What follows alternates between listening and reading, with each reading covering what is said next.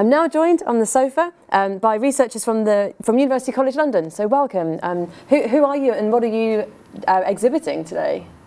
Well, uh, I'm Professor Tamar Makin. Uh, we're actually uh, now in Cambridge University, mm -hmm. MRC Cognition Brain Unit, uh, and uh, together with Dani, who's been my collaborator for the last four years, uh, we run re research on augmentation. So, motor augmentation aims to enhance people's bodies. Um, passing, suppressing beyond the flesh and blood limitations uh, that we were born with in order to allow people to do more with their bodies.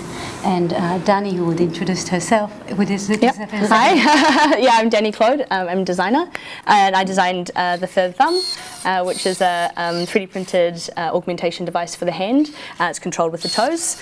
I don't know if you guys can see. so I've got pressure sensors underneath my big toes, and I'm doing the two degrees of freedom of the third thumb. Um, the third thumb was um, my graduate work from my master's at the Royal College of Art, uh -huh. um, where I made my first prototype. I'm now probably on prototype 350 yeah. um, and started collaborating uh, with Tamar uh, after she saw it on, online actually yeah fantastic wow what a cool collaboration so so tell us more about how it works then so you've got your thumb, your your toe is what's controlling it. Yes, yes. So I've got little pressure sensors um, underneath my big toes inside my shoes, um, and this uh, speaks to these uh, kind of little ch computer chips uh, around my ankles, which then wire wirelessly connects to up here. Yeah. And this is all just battery packs because batteries are the, the challenging uh, big big devices. Yes. Um, and then that's connected to uh, the motors on the wrist, which is controlling um, the third thumb. But yeah, design everything myself and 3D print everything. Um, so we've actually on our stand we've got our 3D printer um, that I print all the comes with. Great, amazing. So why did you want to come up with something like this? What was the inspiration? Um, yeah, so I, I designed prosthetic arms as well. Mm -hmm. um, so I work with the Alternative Limb Project also. And um, I really wanted to understand what it was like to you know, I, want to investigate the relationship that forms between um, the wearer and a prosthesis. Mm. Um, it's a really unique product, um, and uh, and this kind of really unique relationship forms. Um, and I wanted to experience it for myself. So I very much just wanted to try it out for myself first mm. Um, for my master's project, and then um, I didn't realise how much uh, of an impact it could have uh, in neuroscience research. Yeah. So prostheses then are, you know, either robotic or kind of non-electronic devices or items that we have on our bodies that represent a kind of a, a new limb or a replacement limb, right? Mm -hmm. Yeah, so we've got, um, I mean, the two kind of main areas, I guess, are congenital one-handers, so people born with one arm uh, or no arms, um, or people who have suffered a loss of an arm, mm -hmm. um, and those are very different kind of people to design prosthetics for. Um, we actually research them in the lab as well. Yeah. So how does your research sort of interact with with yours? Um, so when I first met Dani, um, I got a great big, you know, funding uh, grant in order to um, explore what happens to um, the human brain when we start um, controlling a body part we've never had before. Because there's very rich, complicated questions. Um, for example, if you use your toes in order to control um, a third thumb together with your hand, is your toe going to become more like a hand? And then if you need to use it again, it's like a toe. For example, when you're walking home, are you going to be a bit more clumsy? So there's lots of questions about how the brain adapts to controlling this new body part and how it finds a way to do it very efficiently. Uh, and we, with that question in mind, I was looking for a collaborator. Uh, and for me as a neuroscientist, I wanted a technology that is very versatile, so people could do whatever they want with it, not just what we can do in the lab. And really important for me that people can take it home with them and use it throughout the day. And the uh, only uh, technology that was at that level of versatile readiness was coming from Dani. Amazing. So what sort of um, findings have you observed then in terms of how people's brains adapt to having, in this case, a third thumb? So we've learned so much since starting to work with Dani. One really important result for us is that if you use your thumb, Dani can demonstrate, if you use your thumb together with your hand, you can grasp objects with various um, fingers and configurations. Uh, and that means that you're changing radically the way you use your own hand in daily life. Mm -hmm. And we found that this has direct impact on how the brain represents the hand because you're radically changing the way you use your hand. Um, in other studies, we were trying to understand how the brain learns to create this collaboration between the toes and the hand, and we've learned that it comes up with really creative ways to substitute the information kind of in this gap between the feet and the hand. We're running a lot of research with fMRI to look at how the brain responds, and here we're really lucky because Danny has designed for us a thumb that is MRI safe. So we actually put people in the scanner and see how they control the thumb. If it's the first time they control it, if they control it after they've learned to use it and become experts. And how long does that learning take? So this is what we're studying yeah. in the Royal Society uh, in this week. So we set yeah. up a little challenge, oh, wow. uh, which is um, can anyone learn to use the thumb within one minute or less? We've got two sizes. We've got I've, I've made some kid size ones as well, especially for the Royal Society. Yeah, awesome. and, we're and we've got some adult ones as well. Yeah. So so far we looked at I think 400 uh, visitors. Yeah.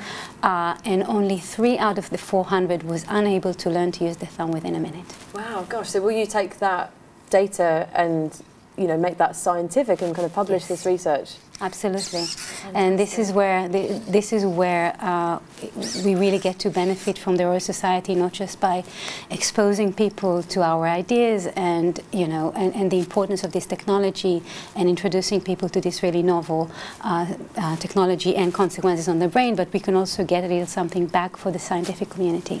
Yeah, absolutely. So, what have some of the public's reactions been to suddenly having an extra thumb? yeah, yeah it's been good. I mean, the, the reactions are always are always quite uh, quite fun, um, and uh, yeah, it's, it's always the, the little kids that are really kind of like not not quite sure it's at the start, but then absolutely love it by the end. Um, and uh, yeah, I mean, we've had lots of questions. We've also got a 3D printer printing, um, and yeah, everyone picks it up so well, and yeah, really enjoying it, which is great. Yeah, awesome. What sort of questions have people asked you? Um, yeah, I've just I've, I've kind of been uh, more about the, by the 3D printer, oh, yeah. um, and um, yeah, I can't think of any off the top of my head. So for for us, uh, people are really keen to understand if we want to control the thumb directly with our thoughts, with the brain. Mm, sure. Yes. Yeah. And to this, I say. I really don't. because uh, if we want to create invasive technology, uh, we need to first get into the brain yeah. because unfortunately the technology that we have right now that is non-invasive just doesn't pick up enough information yes. uh, and I'm really not keen to cut people open yeah. and what's more I think there's so much more we can do with our bodies that we're not exploiting for technologies such as rehabilitation technologies that I think we need to, uh, we have a lot more to explore before we need to give up and go into invasive solutions. So I, for one, am really excited to tell them uh, your brain controls your toes, yeah. so therefore the brain controls the thumb. Yeah, absolutely. Yeah. Just going via the toes. Yeah. yeah. Um, so what, you, what is your hope then for this research for the third thumb? What are you hoping to achieve? Um, well, we're, um, I've taken it to um, a couple of different conferences. Um, one uh, in particular was, was REACH, uh, which is Kids with Upper Limb Difference. So um, I actually kind of um, gave a third thumb to uh, lots of different kids with different kinds of hands. Um, it kind of helped extend their, the functionality of their hand. So working perhaps with patient groups like that. Um, we're also um, excited to perhaps explore uh, stroke patients as well in terms of either augmenting their, their hand that they have the best control over or additionally help with rehabil rehabilitation in terms of the control of the thumb as well. Also um, temporary um, immobilization such as breaking a wrist. Um, you know, we have uh, options for kind of augmentation like crutches when you break an ankle, but when you break a wrist, there's not so many options. Mm. So we're, we're excited, um, you know, especially with all this research we're getting that it's so easy to pick up so quickly. Um, it'd be great for kind of those temporary groups as well. Yeah. And in terms of the hardware, you mentioned this is you know, one iteration of the prototype that you've been developing over a long period of time. What are the challenges in terms of creating something like this? Well, yeah, I mean, I, have spoken to a couple of my uh, roboticist friends, and, and it is, uh, you know, even if you're working on something like this, um, which is kind of on the low end, because it's it, as in terms of um, money, because I'm 3D printing everything I myself, but as opposed to, you know, hundreds of thousands of pounds worth of um, robotics engineering, um, we still suffer with the same problems, which is kind of motor strength over size, battery power and size, and especially wearable um, components as well. Everything has to be external to the body, as opposed to uh, with a you know, prosthetic arm designs, you get to kind of hide everything uh, within kind of this area, which is usually used uh, not is kind of empty. As a, you know, we've got the socket here, then the hand, and then there's kind of more space uh, internally. Um, so augmentation and wearable technology is always so challenging, and then obviously, yeah, kind of making sure the body um, fits everything. yeah. Would you like to try a mechanic version? We've just got a little manual one. Uh, yeah, but. Right hand, like so. Yep. Perfect. Right. So this is just to give you a sense of how it feels like to have an extra finger. Oh, it's quite So comfy. the, the pulleys you have here are Ah, to control okay. the So two There's, degrees. yeah, two main degrees of freedom. So it's across the hand and up and down. Yes. Got you. Yeah, so it's flexion, extension across Give the it a go. hand, um, and adduction and Ah. abduction towards the towards the finger. So, okay, so that one goes that way, and this one goes this way. Amazing. Oh, could you do both at the same time? So imagine this would be normally controlled with your toes. Yeah, got you.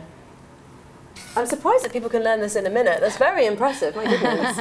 It's much easier, much more intuitive with the toes. Oh, really, the brain mm. could sort of. Un- that's really interesting. Yeah, because at the moment my my other hand is involved in mm-hmm. controlling. Doing something very non-intuitive for the hand. Yeah, exactly. But it moves really nicely, and And try, oh, sorry, and try uh, meet meet your other fingers as well. So that's kind of one of the, the main tasks, um, which is Yeah. yeah finger opposition, because we want you to kind of collaborate with um, with the digits. We find that people when they first try, they really just want to focus on using the thumb by itself, which is obviously n- something we don't normally do with our fingers. We always kind of work together, two or three fingers together to, to do something. Yeah.